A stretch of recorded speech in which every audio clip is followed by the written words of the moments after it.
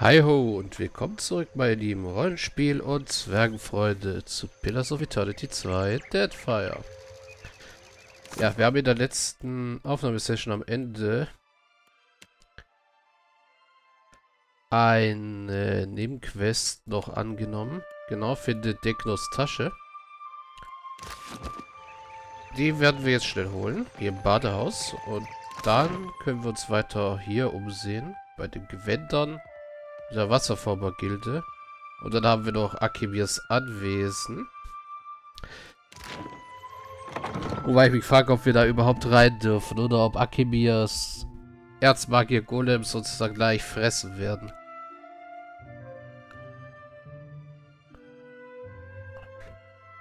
Große wahnsinnige Erzmagier sind ja in allen Spielen recht bekannt und naja.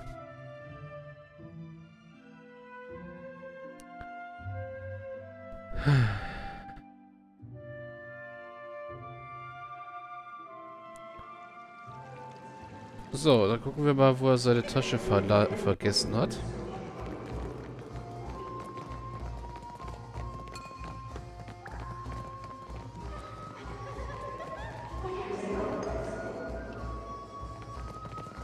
Ah, hier ist übrigens ein Aquarium, was wir sich angeguckt haben. Seltene und bunte Fische schwimmen in diesem mit Wasser gefüllten Becken von einer Seite zur anderen. Oh, look at that. It's like a little ocean. Oh, we need one of those for our ship. Seht ihr das? Das ist wie ein kleiner Ozean. Wir brauchen so etwas auf unserem Schiff.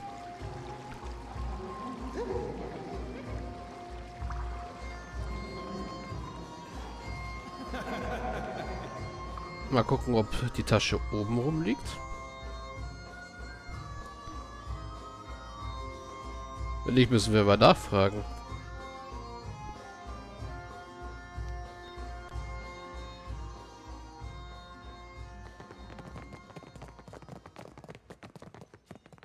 Of course. Ja, hier ist die Tasche, ja.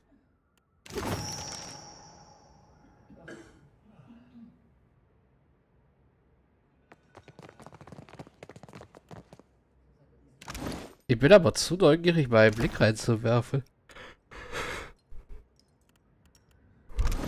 Deswegen machen wir mal schnell speichern. Eine abgetragene und bemerkenswert leichte Tasche. Sie kann nicht viel enthalten. Öffnen. Verdächtiger Brief. Avetas Siegel. Ein Dolch. Und der Rauteihut ist auch neu, oder? Deknos, es ist alles arrangiert. Solange deine Kapitänin bei ihrer Route bleibt, werden sich unsere Schiffe in drei Tagen auf hoher See begegnen. Vergiss nicht, euer Pulver zu nass zu machen von, vor unserem Treffen. Für jede Kanonenkugel, die unseren Rumpf trifft, reißen wir dir einen Arm oder ein Bein aus, verstanden? Und denk daran, ein rotes Kopftuch zu tragen, damit wir dich nicht versehentlich abburksen. Wenn alles nach Plan verläuft, bekommst du einen Platz auf unserem Schiff und einen fairen Anteil an der Beute wie versprochen. Talfor. Wir haben also ein Komplott aufgedeckt.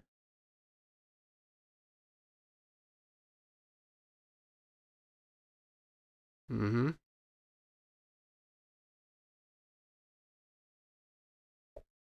Ich habe Degnos Tasche im leuchtenden Badehaus gefunden. Er bat mich, sie nicht zu öffnen. Während ich seine Tasche suchte, lief Degnos zum Ankerplatz der Könige zurück, um seinen Kapitän Avetta Bericht zu erstatten. Er erwähnte, dass er am Bettlerkanal sein würde und bat mich, ihm die Tasche dorthin zu bringen. Ich habe Denglos Tasche geöffnet und fand ein aufwendig geschnitztes Siegel, einen abgewetzten Brief und eine Handvoll anderer seltsamer Dinge. Der Brief in Degnos Tasche beschrieb einen Plan, wonach Teknos Avetas Schiff sabotieren sollte, um sich dann der Mannschaft des Prinzipi-Captains Talfor anzuschließen. Ja. Habe ich mich da irgendwo unbeliebt gemacht dadurch? Nicht wirklich. Bin mal gespannt, wie viele Untergruppierungen wir noch finden werden. Wir haben uns dadurch auch nicht als heimtückisch, zwielichtig oder so herauskristallisiert. Gut. Hier ist noch alles beim Alten. Gucken wir uns mal die Schnitzerei an. Ein kunstvoll Siegel dient gewöhnlich dazu, die Echtheit eines Dokuments zu beweisen oder die Identität eines seines Verfassers zu bestätigen. Ah, Avettas Siegel. Das ist ein Dolch, der auch mit drin war, nehme ich mal an. Also ja, Questgegenstände ist der Brief, oder? Verdächtiger Brief, ja.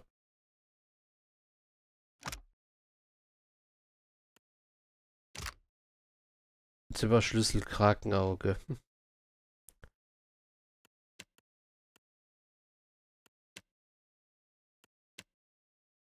Da hat jeder seine eigene Art von Haltung. Hallo, ja. Gut. Eigentlich sollten wir das Avetta mal stecken, wenn wir sie finden. Dass ihr kleiner Bubi da sie übers Kiel laufen lassen will.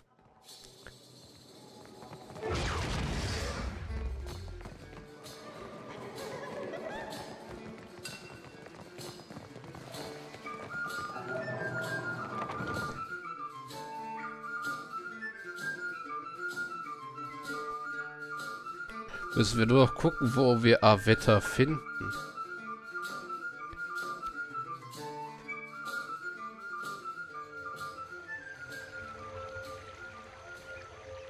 Ne, der Kataka-Wache, ein valianischer Händler. Mhm. Tränke und Elixiere im dunklen Schrank. Das ist wieder einer der Imps, der Werbung macht.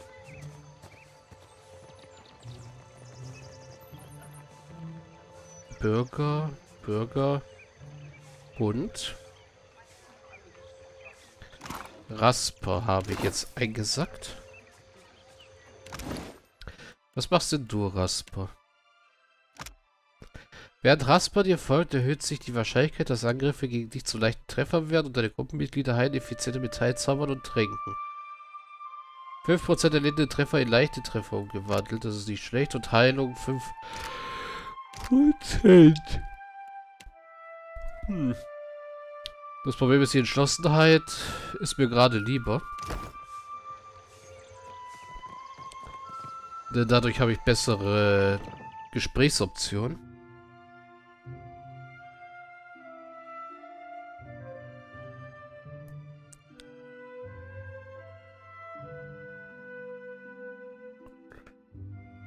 So, das hier ist der Stoffhändler. Indeed.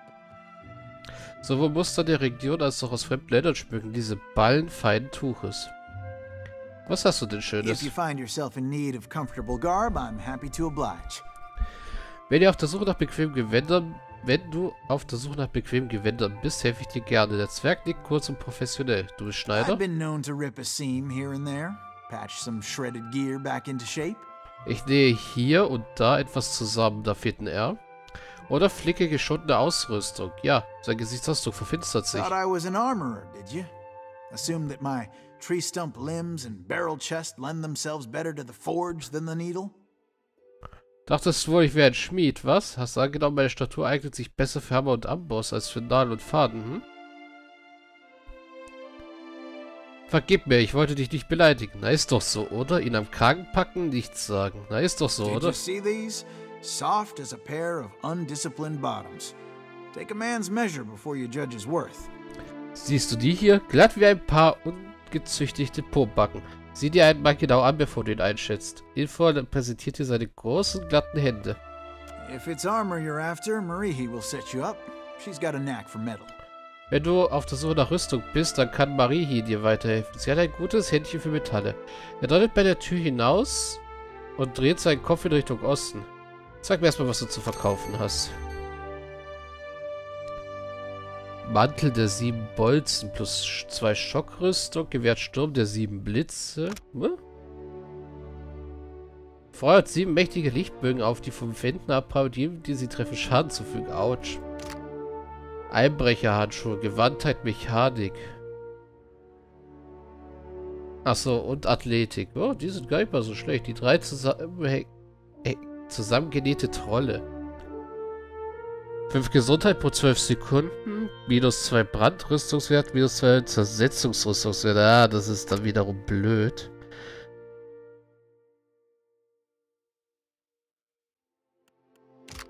Hervorragende Robe, gute Robe und Gürtel. Plus 1 Athletik, 10 Chancen beim Alleine des kritischen Treffers im Nahkampf ein unterbrechenden Wuchtschadenflächenangriff zu wirken. Plus 1 Wuchtrüstungswert.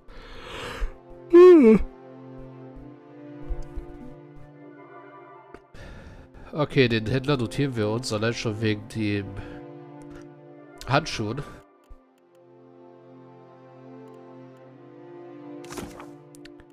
Äh, Notizen, Händler. Nekataka. Aussicht.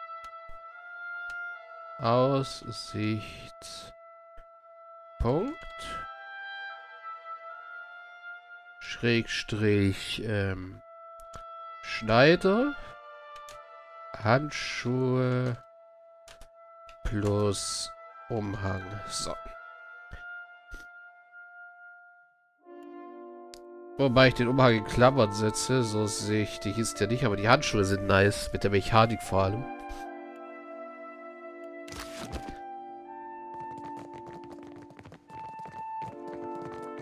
Dass die Leute eigentlich nie was dagegen haben, wenn wir in ihrer Hinterzimmern rumgucken, aber solange wir nichts stehlen, wird es denen egal sein.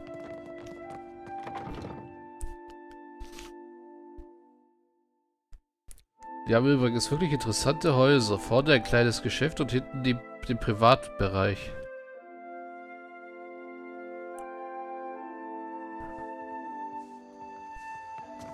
Viele andere würden ja nicht dort wohnen, wo sie arbeiten.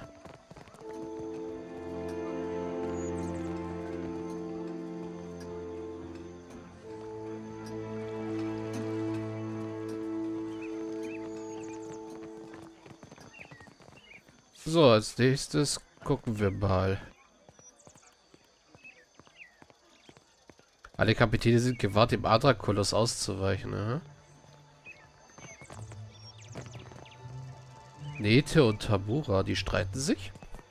I don't give two pyres for your tribal pride, and I wager that Arkemir cares even less.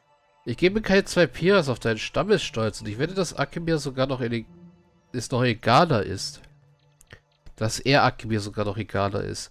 Die Armada bald die Hände an ihre Hüften zu Fäusten, ihre ernsten Gesichtszüge werden zu einer unerschütterlichen Maske. If this is what passes for Rautai in diplomacy, Rasanui has bigger problems.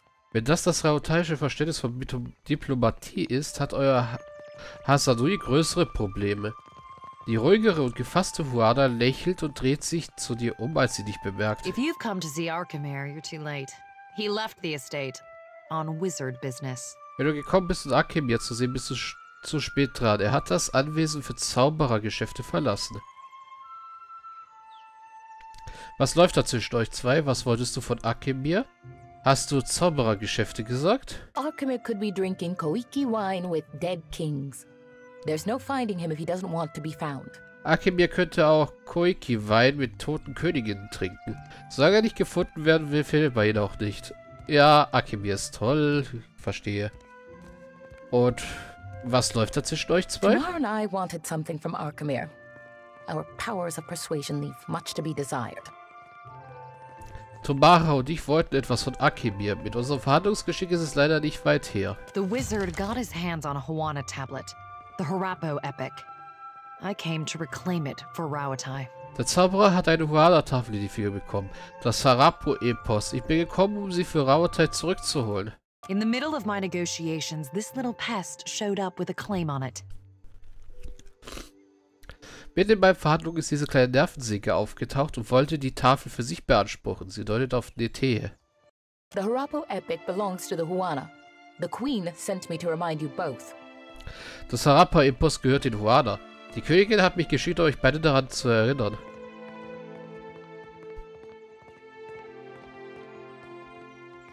Ja, wer ist Akemir? Eine intakte Premierquelle ist für die Horde ein seltenes Fundstück. Was ist also euer Plan? Ich hoffe, ihr beide findet eine einvernehmliche Lösung. Wer genau ist Akemir? Spellcaster. And a damn good one. Specializes in hexes and illusions. Ein Zauberer, dazu noch ein verdammt guter, spezialisiert auf Flüche und Illusionen. He and his apprentice run the Dark Cupboard, a local magic shop. Er und seine Schülerin führen, die, führen den dunklen Schrank, unseren örtlichen Magieladen. Wie ist Akime den Besitz dieser Tafel gelangt? I believe that he had dealings with black market treasure hunters. Not that the queen will implicate him.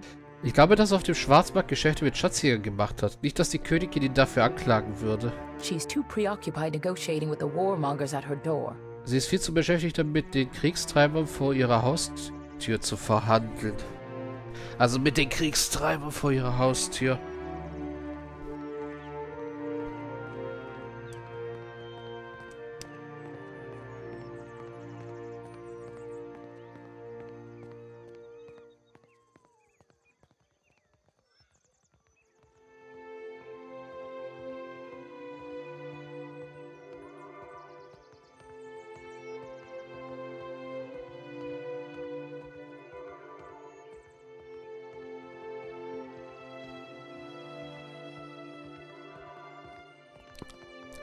Gut, zurück zu meinen Fragen.